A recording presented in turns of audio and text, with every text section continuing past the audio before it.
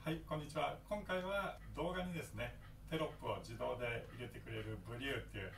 アプリを使って動画編集最近するようになりましたんでそれのご紹介をさせていただきたいと思います。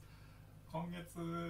バージョンアップありまして自動翻訳して、えー、字幕ファイルを作ってくれるっていう機能もあの追加されてますんで、えー、さらに便利になっておりますのでその辺もご紹介させていただきたいと思います、まあ、私の場合はドラレコ系っていうんですかね。あのドライブレコーダーで撮った映像を上げたばっかりなんですけど、まあ、私の場合はドライブレコーダーで撮った走行中の映像に後からナレーションを吹き込むっていうスタイルでやってますので、まあ、ナレーションを吹き込んだ後じゃあまた言ったことと同じことをですねあのテロップで文字で入力してえー、っていうのが面倒だったんですけどこのブリューっていうソフトを使えば、えー、ナレーションを入れた音声をそのソフトに読ませる読み込ませると自動でテロップもまあ多少の修正は必要ですけどテロップをつけてくれるっていう便利なソフトなんでここ数ヶ月ですかねそのソフトを使って、まあ、最後の動画の仕上げをすることが多くなりました、えー、さらにブリュー自体のバージョンアップがありましてもともと字幕ファイルを出力することはできてたんですけど、まあ、それが、えー、各国の言語に自動翻訳した、えー、字幕ファイルも同時にですね例えば4カ国語でした4カ国指定した字幕ファイルを一気に作ることができるようになりましてグローバル対応の動画を作るのが簡単になりましたので、まあ、あの私はチャンネル登録者数が400人ぐらいのチャンネルだったら海外から 見られるなんてことはまずないんですけど万が一バズった時のですねファイルを作っておいた方がいいんじゃないかっていう ことも あるんですけど、まあ、実際に字幕ファイルを作る時間とですね労力と考えればわざわざ時間をかけたり人に依頼したりして字幕ファイルを作るっていうのはコストパフォーマンス的にありえない話だったんですけどこのブリューを使うことによって、えー、テロップを作ったついでにですね字幕ファイルを書き出しておけばあの YouTube にアップした時にほんの数分23分の手間であの4カ国私の場合は日本語の字幕を入れてその後英語とハングルと台湾系の中国語に、えー、自動翻訳した字幕ファイルを入れてるんですけど、まあ、その作業が、えー、23分でできるようになりましたんで、まあ、万が一のワンチャン狙いの ために字幕ファイルを作っておくっていうのはまあ自動翻訳なんでどこまで読める文字なのか分かりませんけど字幕ファイルを作るっていう作業も一緒にできるようになりましたんでとても便利になりましたというので今回ご紹介です、まあ、この後実際にテロップをつけて、えー、保存してっていうのを実際やりながらご紹介しますので、まあ、よろしければ参考にしてみてください。では実際にブリューのアプリを使いまして、えー、テロップ入りの動画を作るところをやってみます、えー、今回用意しましたのはブリュー用にですね文字のですね認識精度を上げるために、えー、映像プラステロップの音声だけの動画を作っています。その方があの文字認識がの精度が上がりますんで作業効率がいいと思います。でブリューを起動しまして、えー、今回はちょっとログインせずに作業を進めます。ログインしないとできない機能もありますんでそこはちょっとこの後出てきますんでで新しい動画を始めるでブリュー用の動画を読み込ませます、まあ、言語は日本語で確認しますと。で音声分析が終わるまで数分待ちますかね。で今音声を解析してテロップをある程度自動で作成してくれてます。背景の騒音をなしでナレーションの声だけの動画にしました。んでかなり正確に文字を読み込んでくれてますね。誤字とか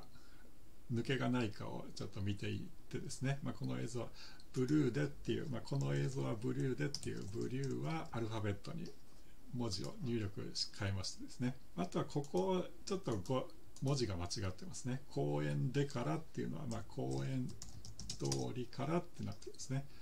ここをクリックして再生公園通りから神宮通りに向かっている。実際に声を聞きながら文字をと比較しまして公園公園でからじゃなくて公園通りから神宮通りに向かっているっていうのが正しいですね。えー、まあ、これでテロップの文字の入力は完成なんですけどあと細かい修正点はですねよくやりますのはあの何も話してないあの数秒間必ずありますのでそこはあの空欄のテロップになるようにですね例えば映像の一番最後「映像です」で最後のナレーションから動画の終わりまで27秒間最後の映像ですっていうテロップを出すってことになりますんでこの映像ですっていうところにマウスのカーソルを合わせてエンターを押すことで空欄のテロップを入れるっていうことですね。あとはナレーションをずっと喋ってるわけじゃないんで途中で数秒間何も話さないっていうとこがあるんですよね。それってこの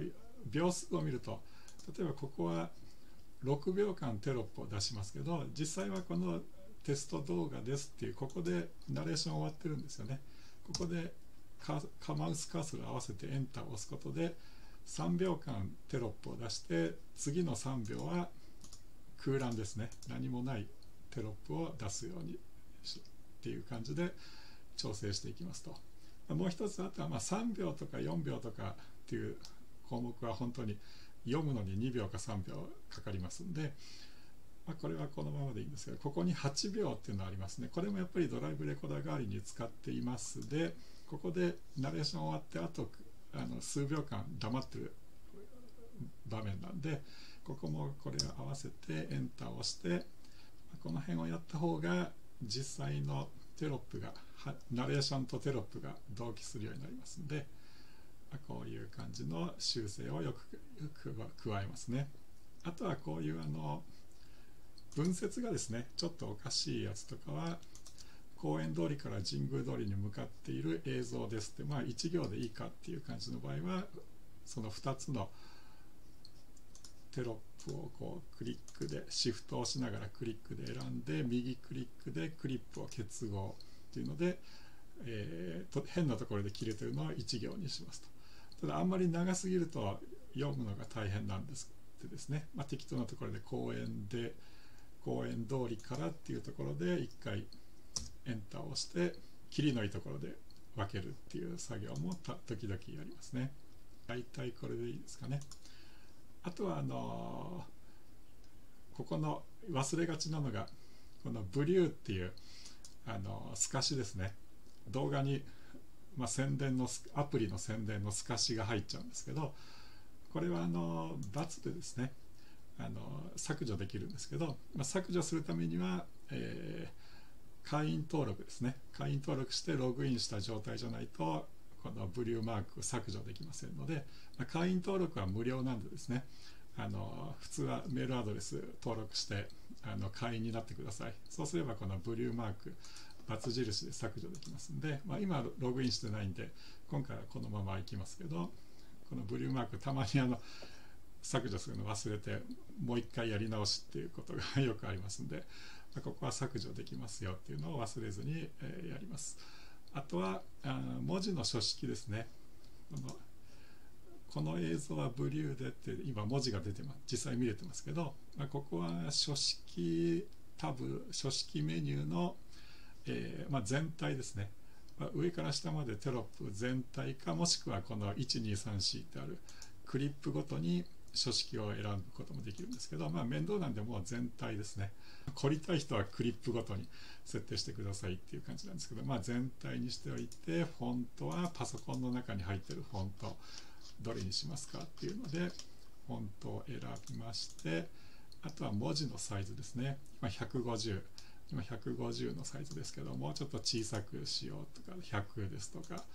えー、大きくするだったら200とかですね、まあ、150ぐらいにしましょうかね。文字のサイズと文字の色ですね。赤にしたり青にしたりできますけど、まあ、今回はシンプルな白にしますのであとは文字の輪郭ですね。今黒い輪郭ついてますけどこれも赤くしたり緑色にしたりっていうのは選べますけど、まあ、これもそんなに気にしなければもう黒のまんまでですね。あとはあの輪郭の太さも選べますんで。あとはこのテロップの位置を左か真ん中か右か右寄せか。これは普通は真ん中ですね。であとは縦方向ですね。上揃えか中央か下揃えか、まあ、これも普通は下にしか出さないと思うんで。で、えー、下下付きにしておいて細かい調整はここのバーをですね調整することで若干上ですとか若干下、まあ、自分の好みの位置にテロップを合わせることができますよということですね。まあ、設定するのは書式ぐらいですかね。あとはあこういろいろありますけどこの辺はほとんど使いませんので、えー、あとは最後にファイルメニューに戻りまして動画をエクスポートですね。実際のこのテロップ付きの映像をエクスポートして完成ですね。全体の解像度は元のフル HD これ 4K も対応してますんで 4K 映像でも使えますよっていうことですね。元の画質、ま、元の解像度で画質は、えーまあ、推奨の高画質か最高画質。私はよく最高画質を選びますね。でハードウェア加速はまあ使うか使わないかグラフィックボードによりますんで、まあ、これはこのパソコンはグラフィック機能あるんで使うにしましてエクスポート。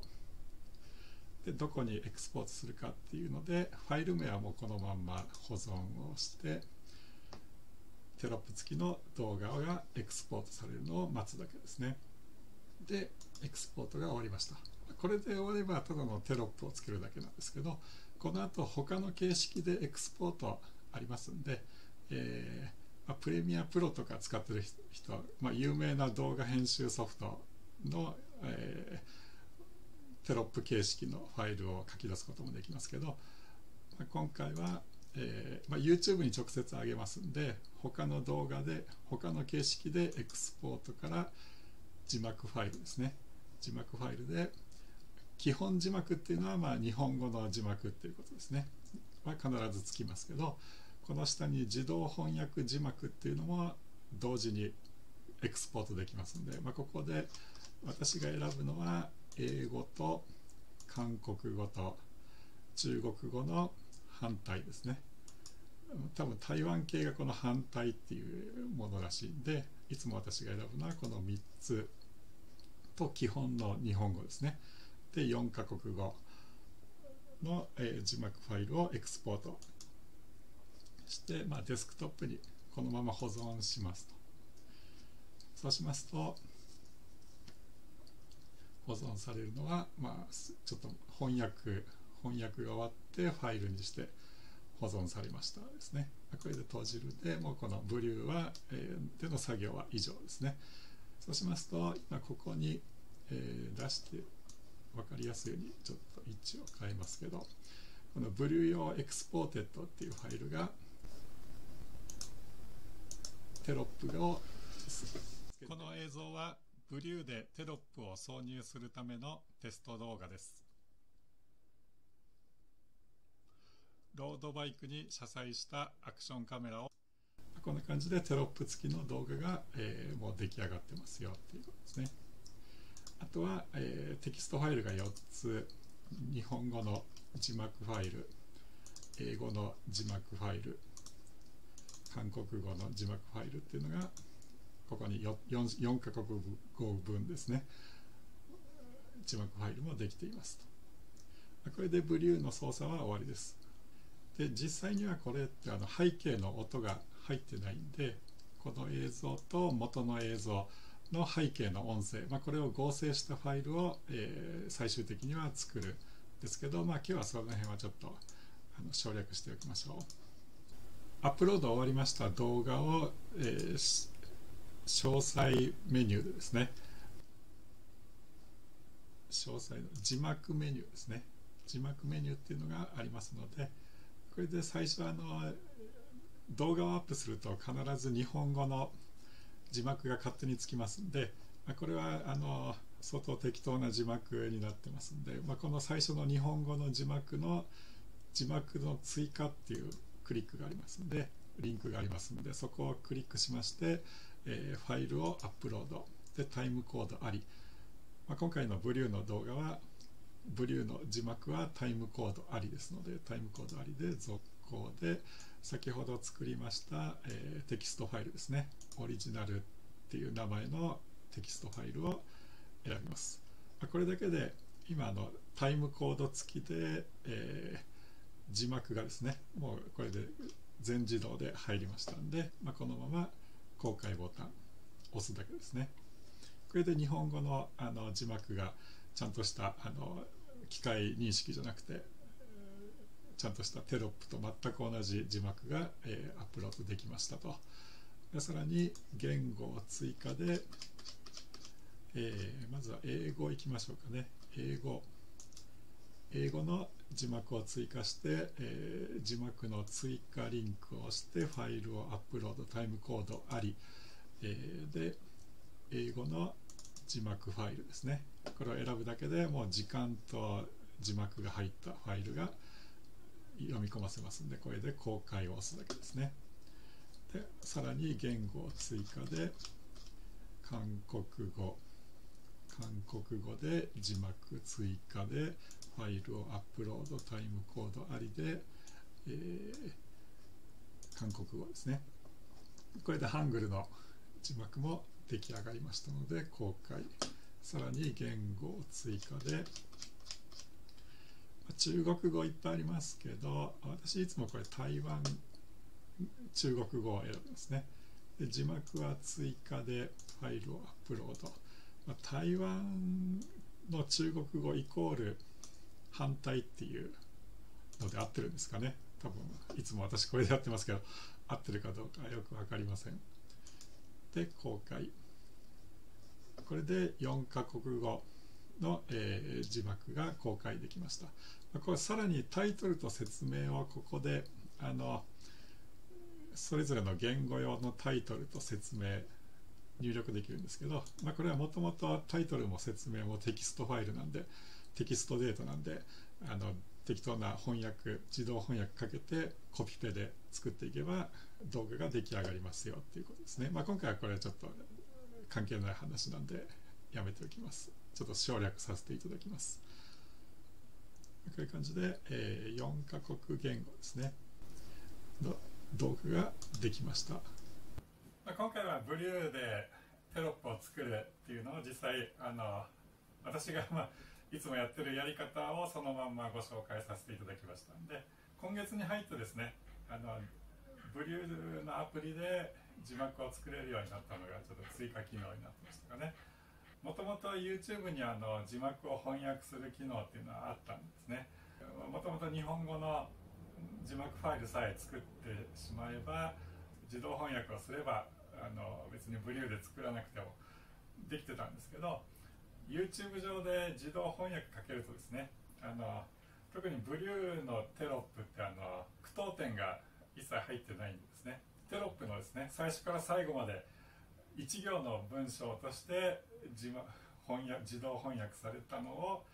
適当な長さで切って表示してたっていう状態になってましたんで正直言ってむちゃくちゃなに英語に私が英語ができない私が見てさえもこれはおかしいっていうようなあの翻訳になってたのがですねブリューだといわゆるあのセンテンスごとといいますかあの一行一行翻訳をかけた字幕ファイルを作ってくれますんで割とあの英語ができない私が見てもまあ細かく言えば全然ダメなのかもしれないですけど、まあ、ある程度あこの日本語の一行をちゃんと翻訳してるなっていうような字幕ファイルができるようになりましたんで。あの前よりもブリューで翻訳機能が追加されたっていうのは結構便利な状態になりましたね。ということで今回は以上となります。